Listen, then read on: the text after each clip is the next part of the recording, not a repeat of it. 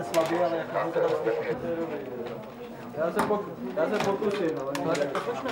No. Nevím, kdy... Možná nechceš, Dnešní, od dnešní sérii jednání, jak to dá? Teď jsem tady, teď skončila tisková konference s, tím Stašovským. Sice slabě, ale jak to teda slyšíte, to je dobrý. Já se, pok, já se pokusím, ale... Tak to nechce, chce kapry. Pak, teď mi volá. Jak vám budu ještě jednu protičku? Myslíte, že byste měl čas dnes eh, přijít k nám do studia buď do událostní nebo do 21? Rozhodně ne. Praha 13. července 2012. Vážený pane Tošovský, obracím se na vás ve věci připravovaného dokumentárního filmu z cyklu Expremiéři, který se bude věnovat vám a době vaší vlády. Bazilej 21. září 2012. Vážený pane Portel, jak možná víte, v minulosti jsem nikdy neprojevoval zájem o účast v mediálních projektech. Ani v současné době nevidím důvod svůj postoj k této záležitosti měnit. Mohu vám alespoň položit pár otázek? Proč jste se vždycky tak bál komunikace s médií? Já se domnívám zaprvé, že někteří politici komunikují až příliš moc intenzivně s, s novináři, se sdělovacími prostředky.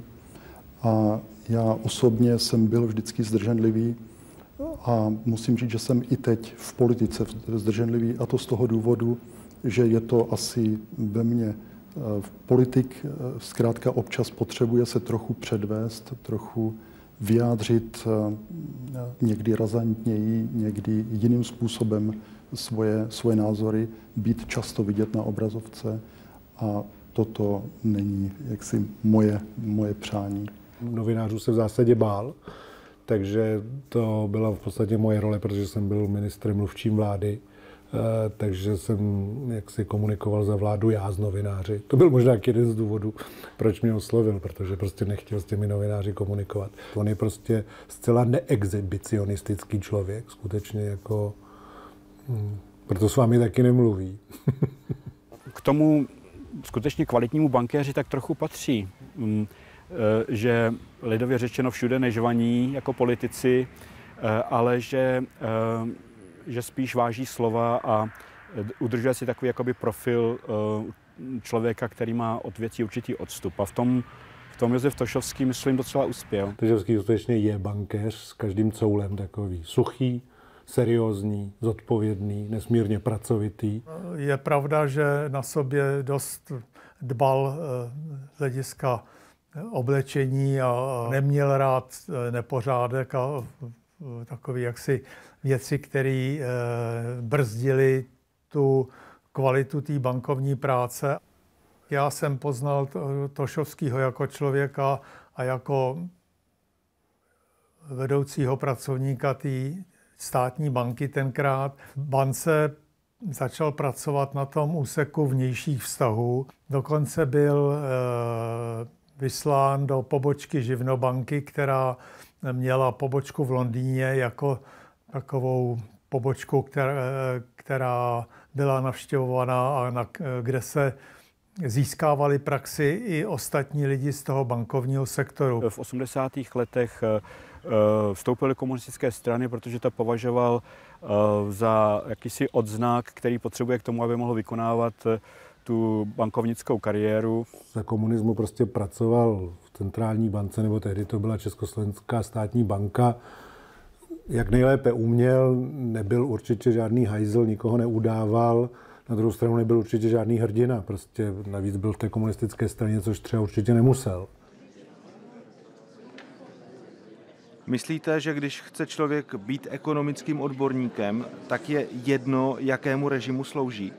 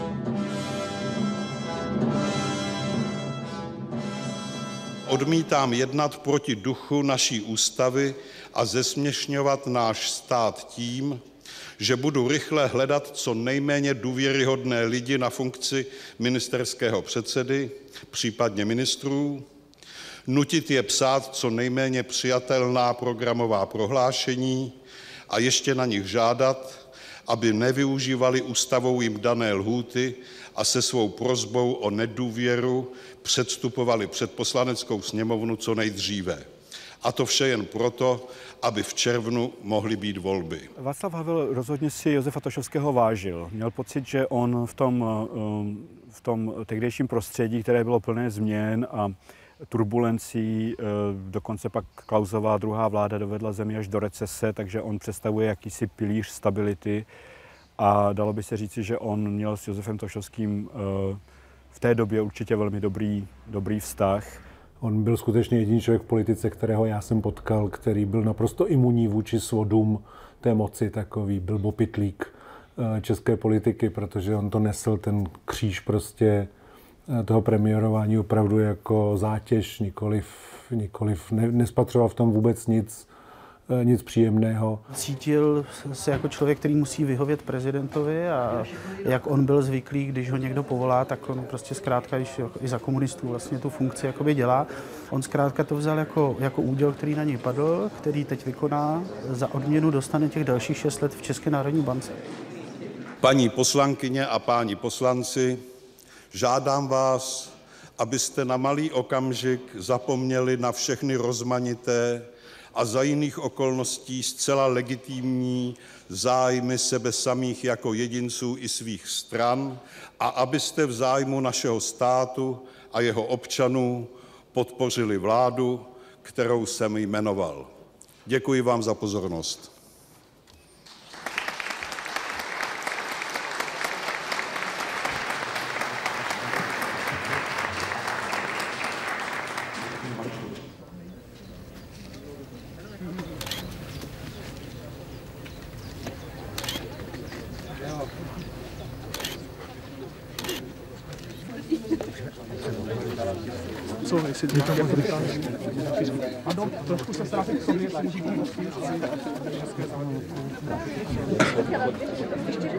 Pokud jde o vládu, chtěl bych jí poděkovat za to, že se ujala že se ujala svých funkcí ve chvíli, kdy tato země byla v politické krizi a potřebovala, abych tak řekl, vytáhnout trn z paty tato vláda, vláda věděla, že vy, vytahuje trn z paty jiným.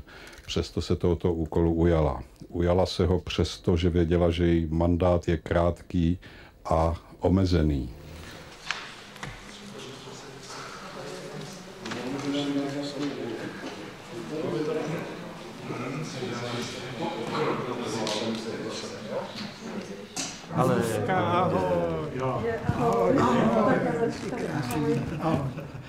Ahoj.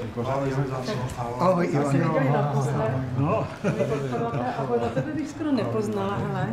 20 kg. No. Ahoj, tebe bych poznala. Ahoj. Ahoj, ty jsi se změnil, člověče. Josef Tošovský měl jak, jaksi dar, dáno jeho spíše jako plachostí a introvertností vlastně jako z nás všech dostat to lepší. Takže každému bylo vlastně jako trapné, kdyby měl na, jak si eh, se někde zakousnout, nějaký veliký konflikt, kdyby nastal, tak jako jsme všichni cítili, že pan premiér to nese velmi úkorně, že jo? to jako bolí, že jo? to trápí. Když jsem tam vešel, tak všichni doufali, že mají 6 měsíců prázdnin. A druhý den se všichni třásli, protože v 6 hodin já už jsem tam strašil. A říkal jsem, kde jste, sakra.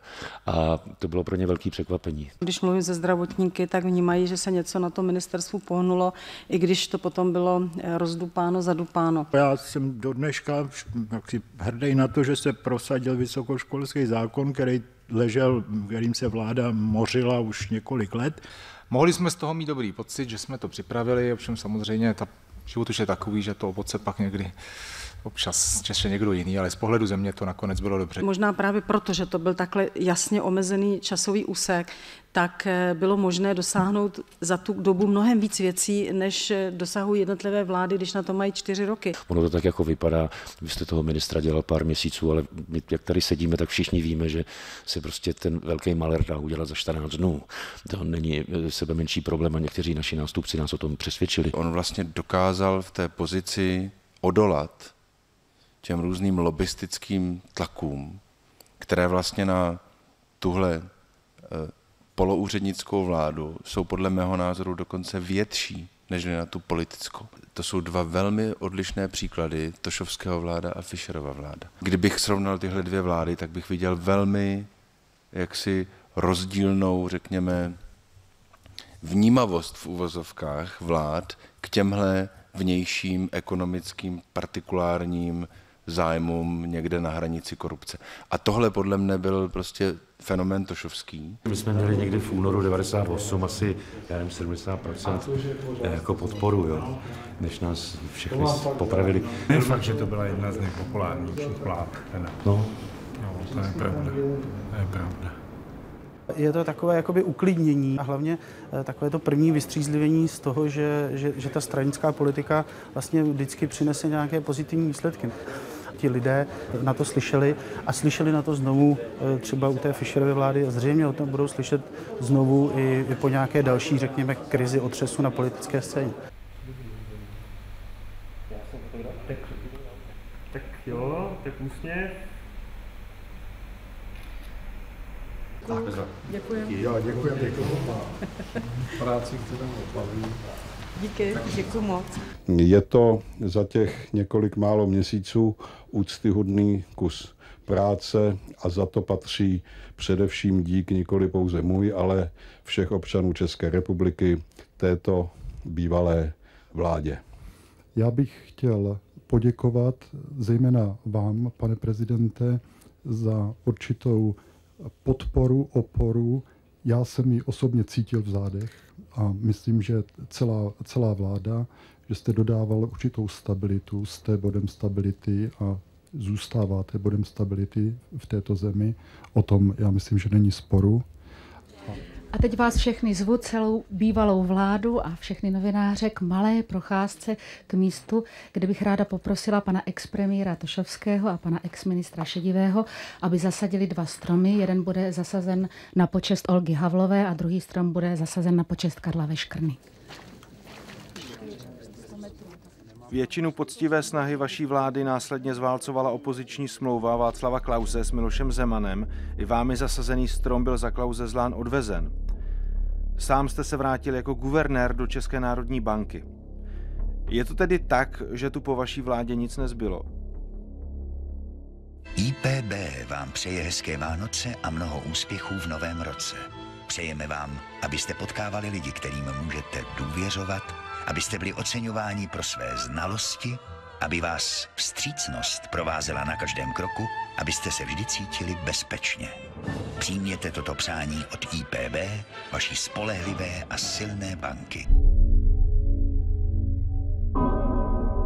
Opravdu musela privatizace IPB, dokončená vaší vládou, dopadnout tak, jak dopadla?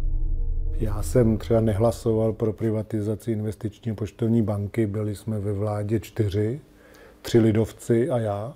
Mimochodem to se na mě tehdy Josef Tošovský trošku zlobil, protože jsem jako jeho blízký spojenec prostě proto nechtěl hlasovat a nehlasoval jsem, protože prostě z informací, které jsme na tu vládu dostali, bylo zřejmé, že uh, ta privatizace není úplně průhledná a není úplně jasné, kdo vlastně IPB kupuje a já jsem byl tehdy člověk, který přišel z novin a byl jsem opravdu plný ideálu, takže jsem se zachoval téměř jak Mirek Dušín v té situaci a nehlasoval jsem pro to. Jako nikdo si tehdy neuměl představit, že ta vláda řekne, my investičně poštovní banku neprodáme Nomuře, protože e, vlastně tlak toho veřejného mínění těch médií, které nadšeně volali potom, ať už se ta banka zprivatizuje, to je to správné, byl strašně silný. Proti tomu stála realita, že ta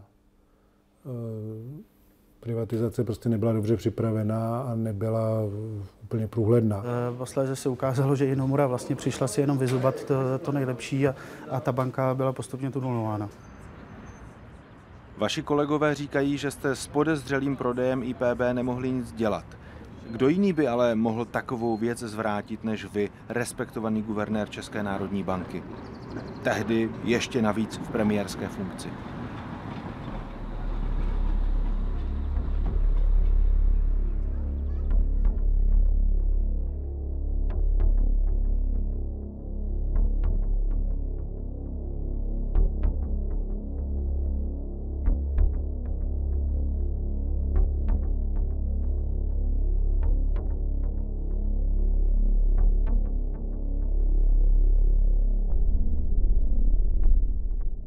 Myslím si taky, že to tak nemuselo dopadnout, kdyby potom všichni další skutečně dohlédli na to, co se v té bance děje. Čili počítat s tím, že dojde v budoucnu k takto zásadním kličkám, řekněme, a trikům ze strany těch nových nabyvatelů, který si státní orgány neohlídají, tak to jsme netušili. A taky kdyby, taky kdyby eh, k těmhle kličcím tyto operace bývaly neumožnili, tak ta situace na konci mohla být úplně jiná. Existuje zřejmě nějaké zvláštní oddělení, které má za úkol jenom dohlížet na jiné banky. Teď ho, teď ho vytváříme, to oddělení, ano. To má, nebo teď bude mít podle nové organizační struktury cirka 20 lidí. Mhm. Protože těch bank zase není tolik, aby 20 lidí nezvládlo ten dohled, dohled nad nimi. S odstupem času víme, že jste jako premiér nezabránil podezřelému prodeji IPB, další kroky Nomury neohlídala pod vaším vedením ani Česká národní banka. Když pak v mezinárodních arbitrážích přicházela Česká republika o desítky miliard korun, nikdy jste nepřišel svědčit. Jak máme rozumět tomuhle? Myslím, že to souvisí s jeho jaksi mentálním odchodem z České republiky. Mně se zdá, že jak si on se cítil být zklamaný, nebo že se možná bál, že na něj, nebo obával toho, že na něj jak si čeští politici chtějí eh, hodit nějakou větší odpovědnost, než mu přísluší. Ale proč nakonec nešel svědčit, eh, to opravdu nevím. Tak jak já ho znám, jak jsem ho poznal, tak bych skutečně si myslel, že to je prostě nechuť, eh, jeho nechuť být vláčen nějakým dalším bahnem, jo? Že, že on to vidí jako dosti bahnitý terén, tyhle ty um, věci, jako jsou nejrůznější arbitráže a tak dále a pokud nemusí, tak se tomu, tak se tomu rád vyhne. Je to možná trochu škoda, že, že tom tu Českou republiku nějakým způsobem víc nepodpořil, ale možná, že ty důvody jsou nějaké jiné a, a více srozumitelné, než se to takhle na ten první dojem zdá mě. Změnila vás nějak politika? V takovéto funkci uh, musí člověku narůst taková trošičku hroší kůže. Chci říct si velmi tenonká, protože kdyby měl brát vše vážně, co se napíše, všechnu kritiku, všechno, co bylo řečeno, a brát to vážně a osobně, tak by to asi psychicky ne, neudržel. Zároveň zdůraznuju tu tenkost té, té kůže, protože tady musí být pořád schopnost přijímat, reflektovat. Být v té politice znamená dělat těch rozhodnutí hodně, že to člověka tak jako pochlapí trochu. Někoho to možná může zlomit, ale mně se to nestalo. Co se v roce 2000 zlomilo ve vašem vztahu k Václavu Havlovi? Pro mě to je příležitost říct dvě věty o panu Tošovském. To me, this is an opportunity to rather offer a few remarks on Mr. Tošovský. Už dlouho je guvernérem Národní banky, je jim mojí zásluhou, neboť guvernéra jmenuje prezident v naší zemi a celkově je vnímán jako takový určitý velmi neutrální, nezávislý, stabilizační bod v tom poněkud rozbouřeném politicko-hospodářském moři. Protože politici by velmi rádi ovlivňovali Národní banku a pan Tošovský je neovlivnitelný. Dobrý večer, sledujete události dne 23. listopadu. Dobrý večer. Prezident Václav Havel dnes oproti očekávání neoznámil jméno budoucího guvernéra centrální banky, který by měl nahradit odstupujícího Josefa Tošovského. Zdeňka Tůmu jmenoval prezident Václav Havel guvernérem České národní banky ve středu i přesto, že s tím vláda ani bývalý guvernér Josef Tošovský nesouhlasili. Podle vlády je nutné, aby jmenování guvernéra a viceguvernéra centrální banky spolu podepsal premiér. To se ale nestalo. Vláda tedy rozhodnutí prezidenta spochybnila a chce dát záležitost k posouzení ústavnímu soudu. Mně se zdá, že to je klukovina. Při vší úctě k panu prezidentovi si nejsem zcela jist, zda je takovým ekonomickým expertem, aby tak náročnou finanční funkci, která je v našem společenském životě klíčová, mohla jmenovat bez konzultace s těmi, kdo experty jsou. Prezident Václav Havel obvinil v článku pro Mladou frontu dnes premiéra Miloše Zemana a bývalého guvernéra České národní banky Josefa Tošovského z vydírání. Oba vystupovali podle Václava Havla při jednání o jmenování nového guvernéra banky Zdeňka Tumy agresivně a vystavili prezidenta domluvenému tlaku. Ve svém článku Václav Havel uvedl, že Miloš Zeman i Josef Tošovský hovořili proti jeho představě o vedení banky s nepochopitelným zanícením. Rozhovory měly podle prezidenta místy charakter vydírání a vyhrožování. Josef Tošovský se k obvinění zatím nevyjádřil. On opravdu dlouhodobě usiloval o to, aby vstoupil do nějaké mezinárodní instituce, aby vystoupil z toho, řekněme, uzavřeného okruhu českého a k tomu se mu podpora lidí silnějších, řekněme, významných politiků českých samozřejmě velmi hodila. Proč jste před svým odchodem do Bazileje podpořil Miloše Zemana s Václavem Klausem na jejich tažení proti Václavu Havlovi?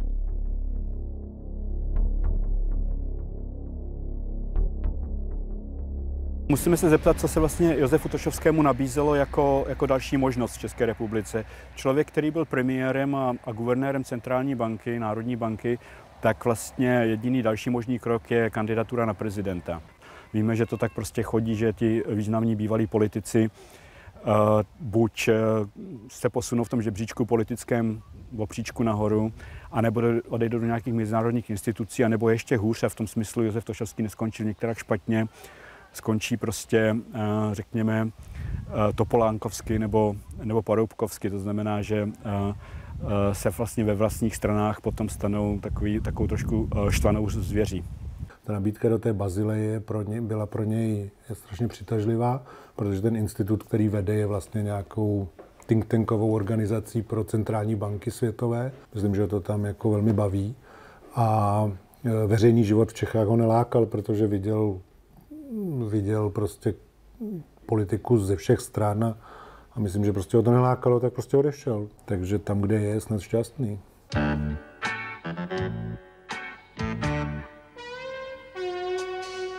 Speciální institucí je Banka pro mezinárodní platy v Bazileji. Tam se pravidelně měsíčně konají schůzky guvernérů cirka 25 zemí.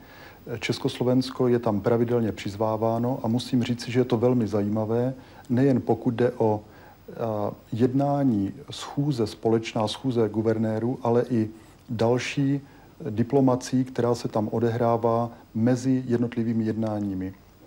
Řekl bych, že kdo se zúčastňuje jednání toho mezinárodní, to je banky pro mezinárodní platy v Bazileji, tak ho potom na nejbližší měsíc nic tak moc v měnovém, kurzovém, úrokovém vývoji ve světě nepřekvapí. No, jako dělat z něho kariéristu, který je ochotný ke všemu, a když mu to tady je málo, tak jde do Bazileje, to je podle mého soudu zcela nespravedlivé. Já myslím, že představuje to lepší z českého, eh, z české společnosti prostě uplynulých 50 let. Proč jste se v roce 2007 rozhodl kandidovat do Mezinárodního měnového fondu a nikomu v Česku nic neřekl?